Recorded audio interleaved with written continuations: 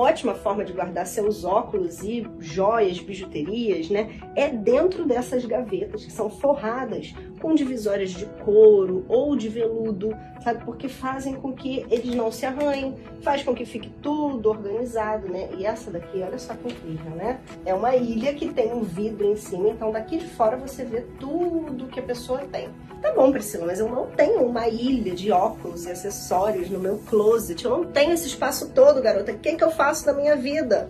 Calma que seus problemas acabaram. Você pode utilizar essas bandejinhas ó, que você compra por fora. Não precisa vir dentro de um móvel. Você compra as bandejinhas de acordo com a quantidade que você tem. Então, essa daqui é de óculos, por exemplo. Aí você vai colocar os óculos, né? Eu, no meu, no meu armário, por exemplo, eu tenho duas, porque eu tenho bastante óculos. Assim como a bandejinha de acessórios. Olha só que legal.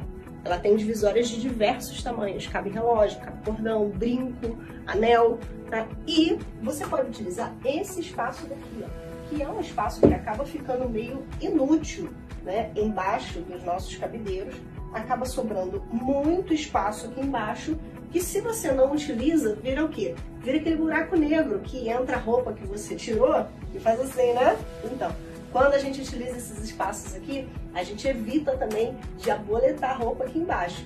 E é um espaço maravilhoso para colocar colocar suas bandejinhas com acessórios e óculos. E todos os óculos que você viu, tanto nesse vídeo quanto os que você me viu usando todos os dias, são da Alcidino. Eu vou colocar o arroba deles aqui embaixo para que você dê uma olhada em todos os modelos que eles têm.